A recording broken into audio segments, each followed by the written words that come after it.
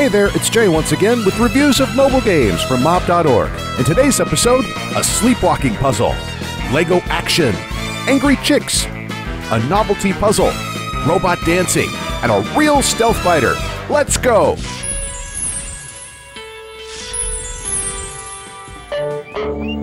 Back to Bed is a very unusual, surreal, breathtakingly chaotic, and depressing game. To cut a long story short, it's a puzzle. Your goal as a dog, if it can be called a dog, is to help your owner who suffers from narcolepsy safely get back to his bed. And to do this, you'll need to use your brain, move apples, and run around on ceilings and walls.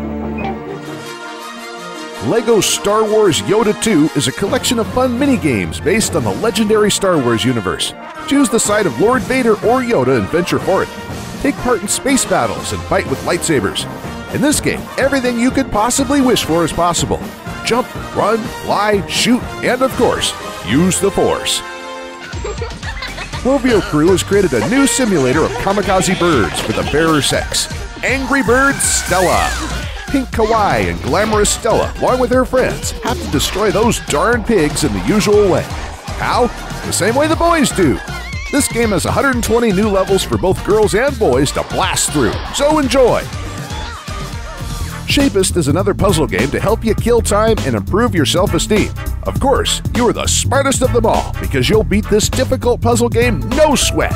You'll get different shapes that you need to place so that a rectangular shape in the center remains empty.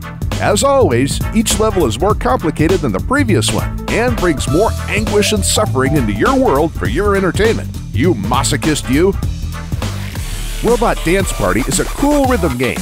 You will dance until you short circuit because everyone on this dance floor is a robot. Create your own unique tin can using hundreds of parts, each giving you new abilities and moves. Tap and swipe across the screen to make your robot do complex dance moves and combos.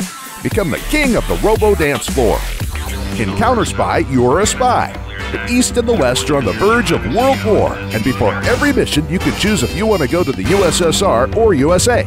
Your mission is to steal drawings of rockets from both sides, and you need to do that in stealth mode, silently taking down enemies, because if something goes wrong, the sirens will go off, forcing you to act quickly and decisively by killing everyone who gets in your way.